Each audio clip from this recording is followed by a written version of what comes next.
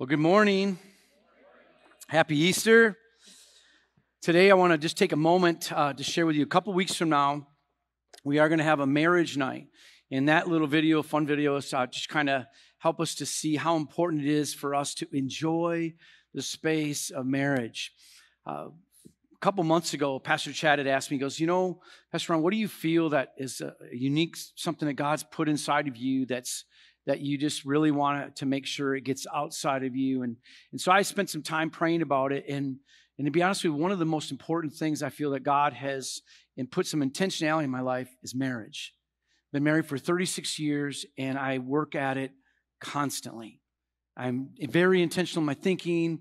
Um, this morning, we were i was actually had it i forgot to get something out of my car and then another person that was driving in to the um, parking lot was uh, admiring i bought my wife a new car out there and uh, and so they they stopped and said well pastor ron how come that's her car not your car?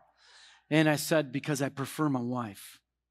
I'd much rather see my wife looking hot and ready to go than caring less about what i'm driving in and I think the biggest thing we realize is that, um, you know, marriage, this is what it's about, is preferring one another.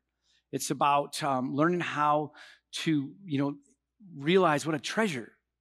Marriage is a treasure, and I know that so many people are really struggling. So if you are in marriage right now, or maybe you're contemplating thinking about getting married, or or maybe you're in a, you know in this space where you know that you've been well, I've been married for so long, I've been married longer than you, Pastor Ron. Well, you know, I'm not here. We're not here to compare um, uh, each other. What we're here to do is this is a covenant we made before God, and let's learn how to do it better together. And so we're going to have some fun. We're going to have some food. We got childcare that's going to be here that, that evening. We got a panel discussion. It's just going to be, we're just going to have a, a great time learning how and figuring out, you know, what, what has God put in our life and how to do it better. And you can um, go online and go to our calendar and you can sign up and register. And you can also go to our app and you get through the calendar and you can sign up and register that way too. Well today i want to talk to you about easter. And i'm going to uh, kind of share it from maybe a di- little bit different perspective. The holy spirit was really kind of talking to me this last uh, month here. And that so many of us when we think about jesus we think about jesus on this earth. And then he was here and then he was out of here and then we think, well, yeah, when he was out of here was that thing we called resurrection. And what I want to do is I want to share with you that Jesus was here way before he was here. In fact, there's a reason why the, the wise men, you know, came to visit and the angels came to visit and they were worshiping, you know, because honestly, they were worshiping the space of the plan that God had. And that the plan has been this Jesus was a king before he came here, Jesus was a king while he was here, and he is a king after he left here. And the purpose of his kingdom and this kingship wasn't because, you know, he was trying to prove something. Look, I'm going to be king. It was so that you could be invited for him to be your king. That was the whole point. So that you could invite, you could have the opportunity to invite Jesus to be your king. The whole, all heavens knew that he was a king. And many people on the earth knew that he was a king. Many of them didn't. And you know what? And all those in heaven right now can certainly see that he's always been a king. But the question is, is he your king? That's the question. That's the space of understanding when we could realize that he wants to be our king. He went through so much agonizing pain so that he could, so you could make the choice for him to be your king. And I don't make that lightly because it's a, it's a really a difficulty because you can't come to God with your brain. You can't. You can't make sense of it. It doesn't make any sense because it's not supposed to be, because God is a spirit, and those who worship him must worship him in spirit and in truth. So the only way you're going to engage God is from your heart. You know, the longest journey that you'll ever have is from your head to your heart. And so many of us don't make the journey. You see, well, Pastor Ron, well, I don't really understand. I don't really get it. Well, I mean, if, if God wants to come and live inside of my life and the power of his presence wants to come and live in my life, why am I really struggling with all these situations and scenarios in my life? Because you can resist him, you can grieve him, and you can quench him. It's very clear that mankind has constantly struggled with the space of Jesus being our King.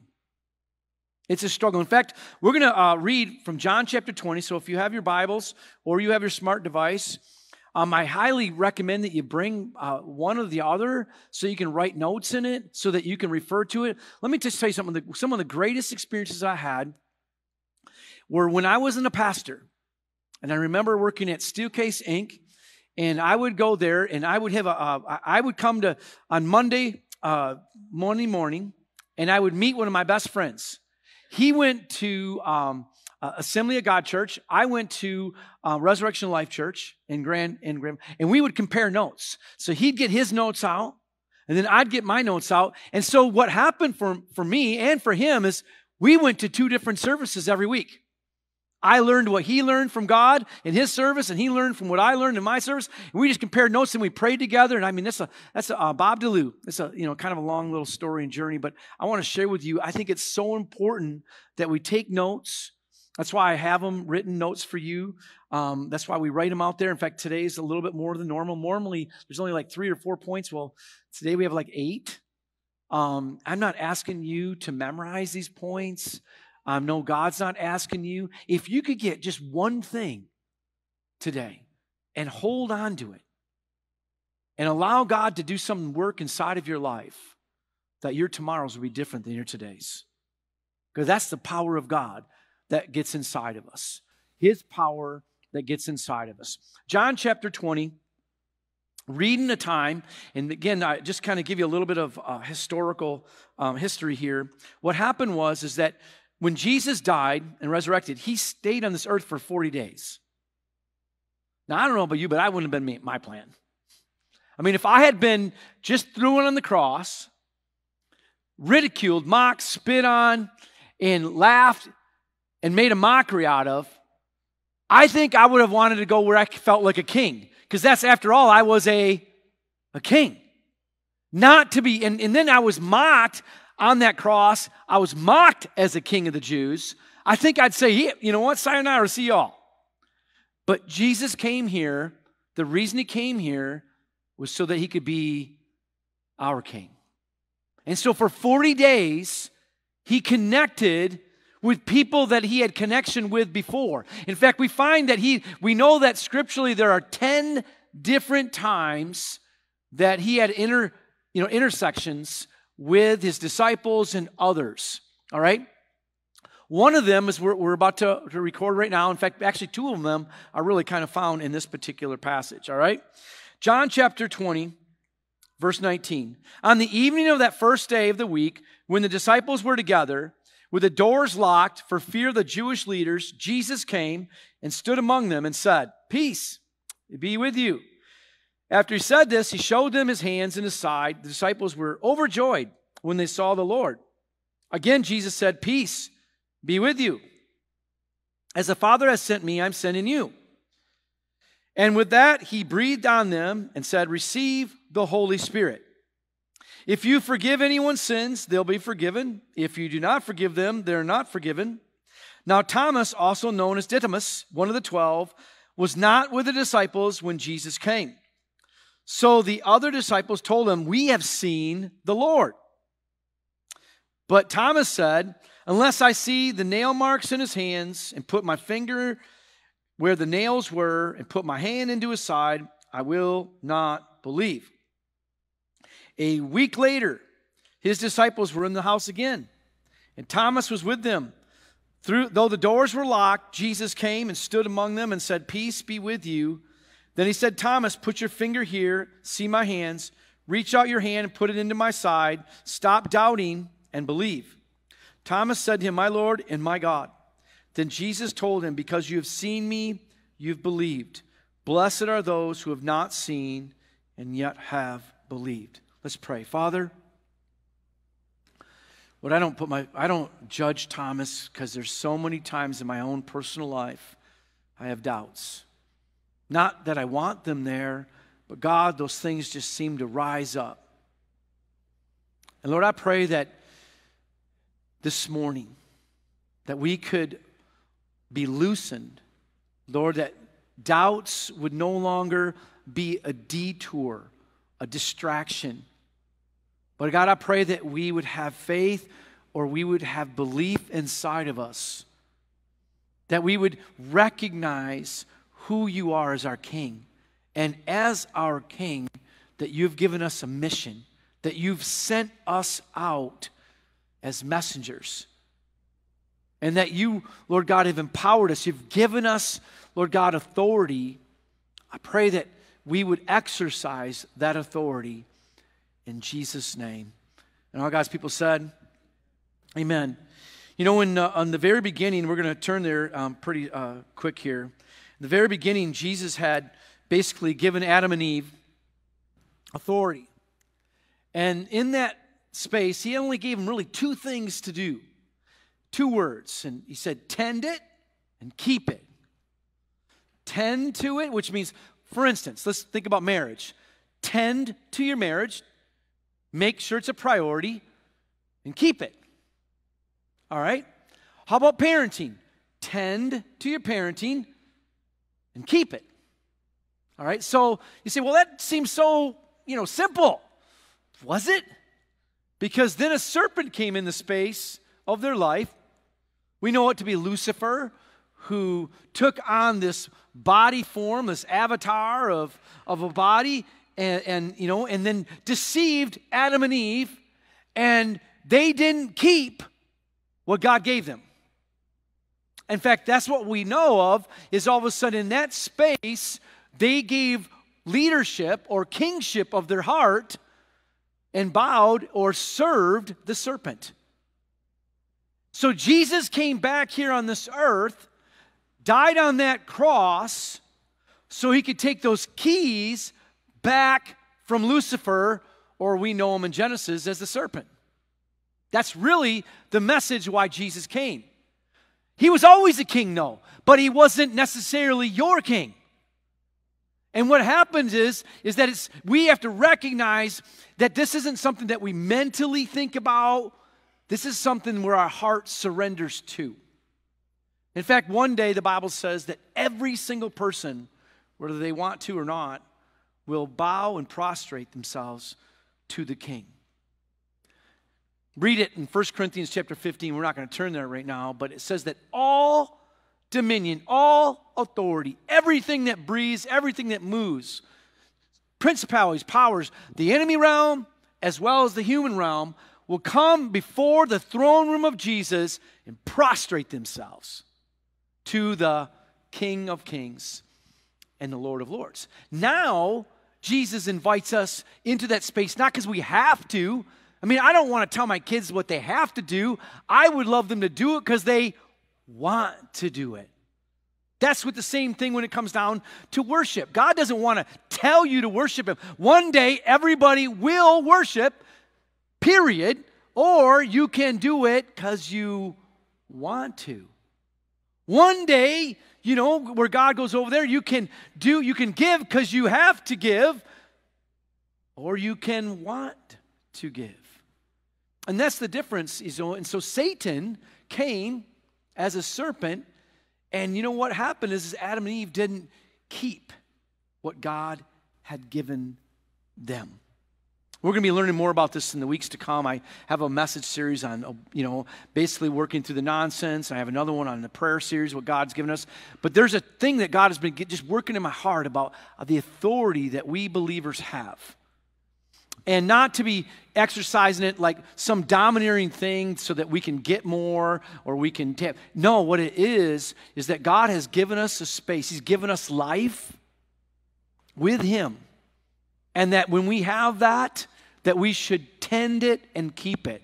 For instance, you may think it's really easy for me to get in God's presence when we're here. It's not. The reason is, is I can be so distracted because I'm the pastor here and I'm, I'm leader. And so I'm thinking about what's the praise and worship doing? What's the offering doing? What is the lights doing? What's the sound doing? And I have to really, I struggle as the shepherd of this house being distracted. Kind of like you parents sometimes, and all of a sudden your kid, you know, you, you can go over there and maybe you're, you have your kids and, and, you know, and all of a sudden they're just, they're just going, they having one of those crazy moments. And, you know, we, and we always blame it on sugar, but the bottom line is kids are crazy. Amen? right? And the Bible says that. Foolishness is bound up in a child.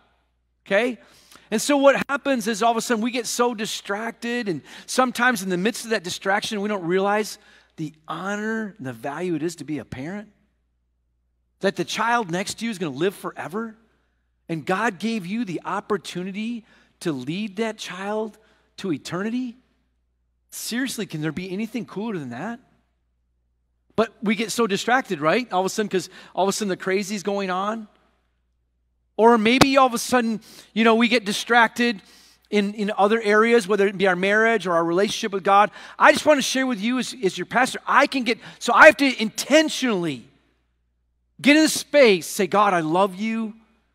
I worship you. Jesus, you are my king. You are, I acknowledge you as my master not of something that happened 38 years ago. Lord, right now, you're my king. And Lord, I'm sorry for those times where I get so distracted. You deserve better. As your king, as your, you be my king, and as your son, I can really sometimes miss the moment. I am truly sorry for that. Help me to stay true to you. God, I'm even sorry that I got to ask you to help me in this when you're so much more worthy of the space of my attention. God, I'm sorry that attention deficit isn't just something that's a human thing. God, I got it spiritually. I can truly be attention deficit in the things that really, really matter. And I know that I'm speaking to all of you because I know you're just like me. Here's the cool thing about God is that as you convey your heart like that, God loves you. He already knows that. And as you confess your faults unto your Lord and your Savior, all of a sudden, here's the thing is, is that you're unloading and God's uploading. You're downloading and God is uploading. All right, point number one I want to share with you. We're just going to get kind of what is Easter, and then we're going to talk about Jesus on this earth, and then we're going to talk about you. All right? That's how we're going to break it out. Number one, Easter is a special day in which we celebrate the resurrection of Jesus Christ. say, well, that's kind of a no brainer. Well, is it? Is it something we just mentally think about and we get all dressed up about? I remember I was with a, uh, a banker this week and, and they were saying, hey, it's a big, big day for you, isn't it? Big day for this week. I go, I says, every day is Easter with Jesus. Every day he's resurrected in my heart. Amen? And so, but her picture of Easter was, oh, my little girl gets to get, you know, that little little dressy and gets all dressed up. And, and her, her, her picture of Easter was, you know, dress day. It was a dress up day. And to me, Easter isn't, you know, and that's cute. I, I got all my, my little granddaughters are so cute, you know, and, and that's, that's, it's wonderful. But Easter isn't about what I do, it's about what he's done. Amen? Two, Easter celebrates victory, but it came after a very sacrificial death. In fact, uh, during our song um, uh, in our worship set, you're going to see some of that. Number three, Easter is the final chapter of Jesus on earth. Easter celebrates his return to kingship in heaven. He was a king before he came here, he was a king on this earth, and he was a king after he left here. He's always been a he's always been a king. But is he your king? Genesis chapter 1, verse 26. You can't get too much, you know, far, farther in the beginning, right? Here's Genesis 1 26. Then God said, Let us make man in our image, according to our likeness, them having dominion over the fish of the sea, and over the birds of the air, and the cattle, over all the earth, and over every creepy thing that creeps on the earth. Wouldn't it be great if Adam and Eve took care of the creep that came in the garden? You and I would have a much different worship service right now. So when the creep came in the garden, he should have said, Get out. Devil, get out, serpent. You have no place in here. You're not talking to my gal. You're not talking to me. You got nothing good to say, so I'm not listening. But that's not what happened, is it? They listened. And sometimes we, we, can, we don't realize that the creepy thing gets in our, you know, on our phone. And all of a sudden we're watching things and listening to things we ought not watch and see. How in the world did the creepy thing get there? Well, that creeps get that's what creeps are. They creep into things. So your job is to get rid of the, well, man, you just, we can go home now. Your job is to get rid of the creeps. And you know, here's the thing is, what if you were so good at getting rid of the creeps for your life that you began to pray to get rid of the creeps in other people's lives? Man, we'd have revival. We'd start seeing churches get filled because we are no longer taking care of the thoughts, just our thoughts that we're dealing with. We're starting to help people deal with the thoughts that they're dealing with. Colossians 1, verse 15 Jesus is the image of the invisible God, the firstborn of over all creation. For by him, Jesus, all things were created that are in heaven and on earth, visible, invisible. Thrones, dominions, principalities, and powers, all things were created through him and for him, and he is before all things, and in him all things consist. So you can't, basically, Jesus was here in the beginning when it said, Let us make man in our own image. It was God the Father, God the Son, and God the Holy Spirit making man and woman in his image. So Jesus was here way before he showed up as a baby. He was a king before he was a baby. So when you get your picture of Jesus as a baby, that was only Jesus' time on this earth so that you could choose him to be your dad. You're getting it. He lived this earthly life so that you would have the privilege and the honor to surrender your life to Him. That was the whole point of it. John chapter 18, there's a, a, a moment where Pilate is bringing out these accusations and he speaks about Jesus in this way. Pilate therefore said to him, Are you a king? Jesus answered, said, You are rightly saying that I am a king. For this cause I was born for this cause I have come into the world, that I should bear witness to the truth. Everyone who is of the truth hears my voice.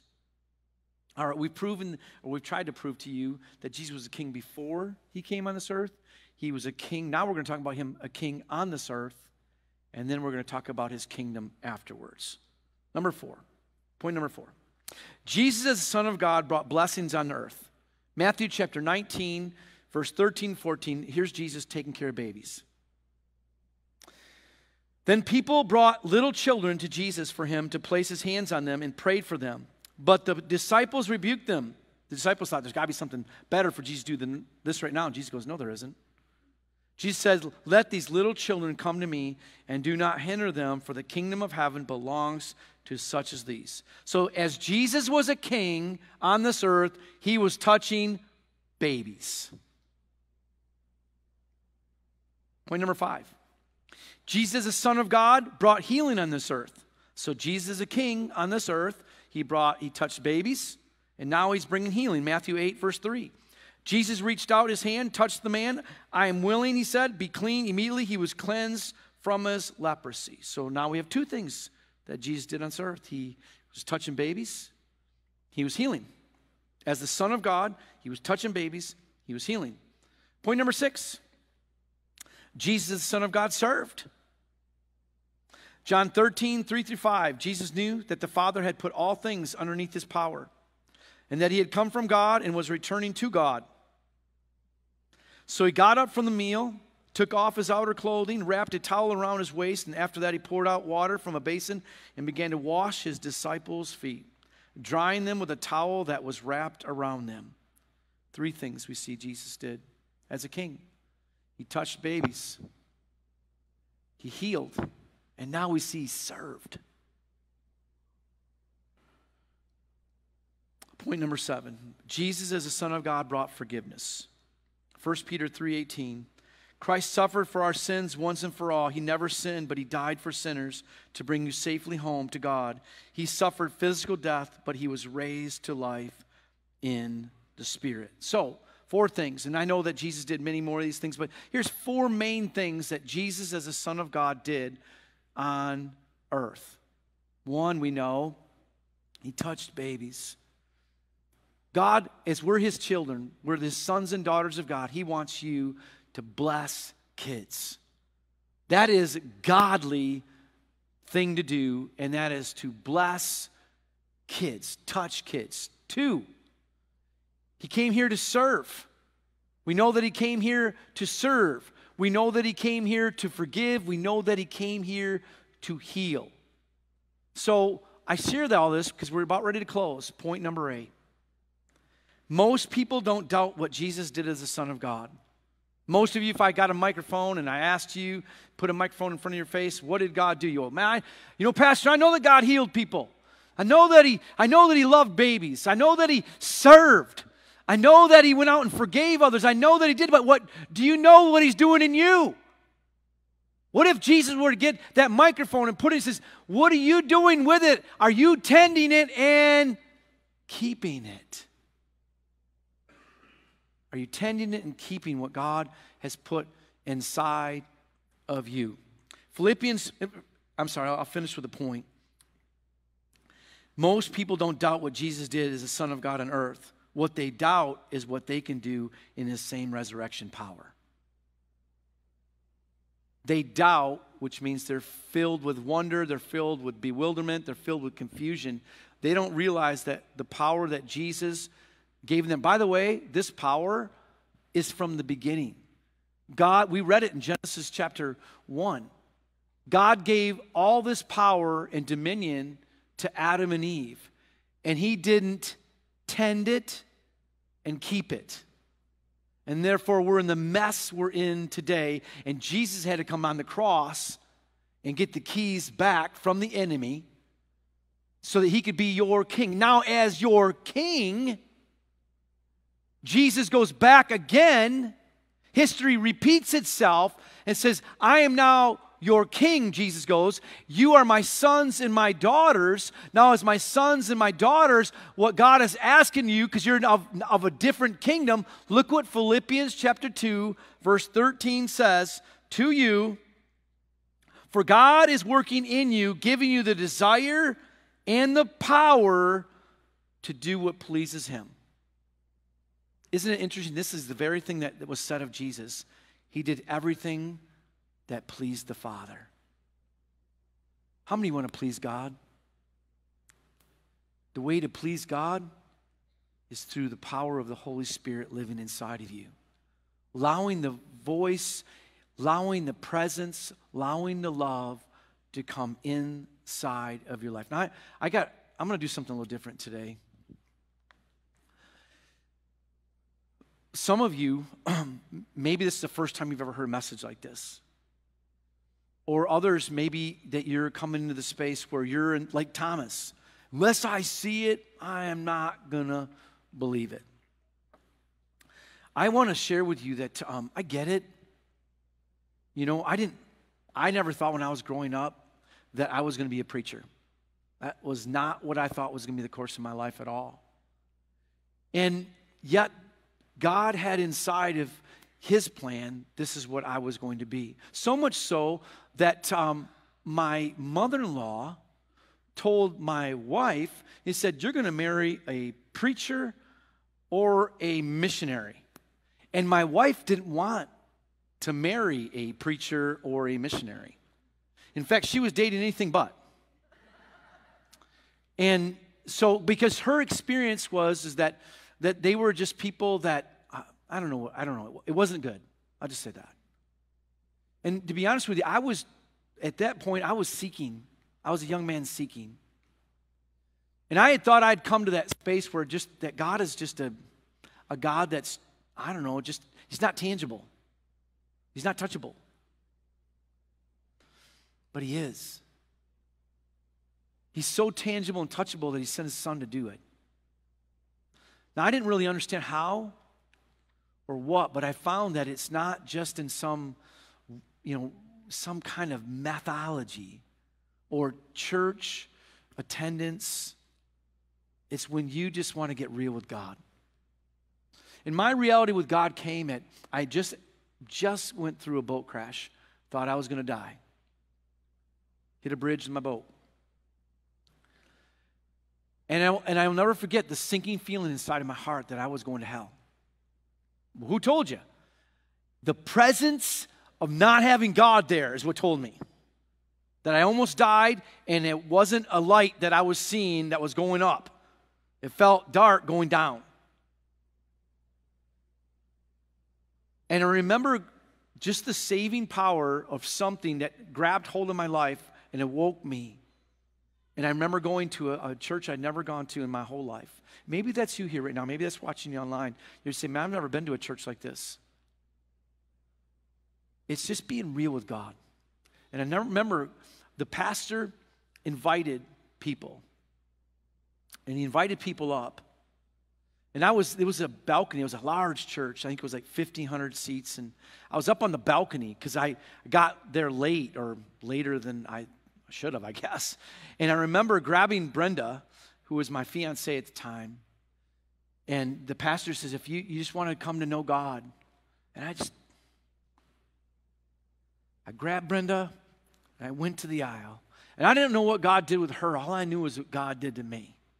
I said, God, if you're for real, if you're really there, God, you got to give me a relationship, a love for my father. And what had happened in my life is my father and I, my biological father and I, I had grown distant. And if my father's watching this, he's never even heard it. I'm sorry for not sharing this with him. But I wanted something that was real. And what had happened was him and I had a pretty good relationship. And then I started courting Brenda, and we just grew distant. And that, I just didn't know how to make it better. Wasn't good at it. I said, God, if you're for real, would you please heal that relationship? And as God is my witness, God's bigger and more powerful. He healed that relationship. And you know where He healed it? in me. He healed it in my earthly relationship, in my heavenly relationship, and God came real in my life that morning. So I don't know where you're at with Jesus, but it's not about coming to a church for attendance. It's not about, you know, having a, you know, an, an Easter, you know, um, moment where why I just come to church because it's Easter. It's personal. And I believe God wants a personal relationship with every person in this room and even those outside this room right now. God so loved the world that he gave his own son, Jesus, to die on that cross for Ron Rands and for you. And when you see that cross, do you see your name on that? Because that cross is where I belonged, not Jesus. And he got up and hung up on that cross and saw me. He said, Son, I forgive you. I love you. Would you please come into my come into my my family? I know what it's like to adopt. I've adopted three wonderful girls. And that's what God did. He adopted me in. I was a hot mess. And he didn't look at all the messiness I was. He goes, Come to me, son. And I came tears and brokenness. Didn't have anything really other than to give of myself, and that's all God wanted was me. You know what's funny? That's all I still got. Yeah, maybe I'm more polished. Maybe I can pray a little better than I used to pray. Maybe I've got some things that are going, you know, in, in God's corner. But the truth is, Isaiah 66, the last chapter in a great man named Isaiah said this What could I ever do that would impress God? The answer is nothing. There's nothing I could do. On my best day, it wouldn't impress heaven. But on this thing, God says, on a broken and a contrite heart, every one of you can have that with God. You can't impress God. Not one person in this room is ever going to get up in front of God and say, I did it. I impressed you. But you can come to Him with a broken and a contrite heart. I have seen people where their marriages fell apart come to Jesus. I've seen people like myself who had a really bad accident, should have even almost should have died, come to God. I've seen other young people that didn't have anything going on, but God is just calling, ring, ring. And He's knocking on their heart. For God so loved the world, He didn't so love and have to get you in a certain little box so He could talk to you. He loves you right where you're at. And all He's asking you to is love Him back. He wants to be your king. By the way, you don't vote Him in, He's not the president, he's the king. And he has a kingdom. I know it's a lot different for all of us who grew up in this crazy free country, right? But he's a king. And I need to surrender. And so do you. Well, Father, I thank you for this moment. We'll never have it again. But Lord, is in the space of presence of who you are, Jesus, being a king that you are, you are a king from the very beginning. In you, all things that were created were created in you and for you. And then you came on this earth, being the king that you are, and you chose to come like a child with such humility, and then to be brutally beaten and hang, hung on a cross for my sin, for our sin. You chose that because love compelled you to do it. God, I pray that that same love that would come inside of our hearts would compel us to come to you, to seek you while you may be found. Draw near unto you as you've drawn near to us. If you're here this afternoon, whether you're watching, whether you're present here, God's knocking on hearts. Whether it's maybe coming back to Him, or whether it's just this, this endless search you have, there's got to be more to God than what you've experienced. Let me tell you, there is. He is a treasure that you'll never stop seeking after. In His presence in your life is peace. I love how He said it to disciples, peace. What a space we need right now when there's so much anxiety. And God's knocking on your heart right now. I want you to pray, pray this prayer with me right now. In fact, church, would you please pray with them? Say, Father God, in Jesus' name, I come to you in full surrender. Here I am. I'm all yours. I ask for my sins to be forgiven.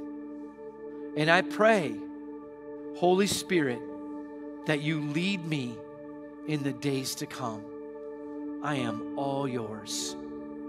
You are my King. In Jesus' name, amen. Let's stand up and worship our King today.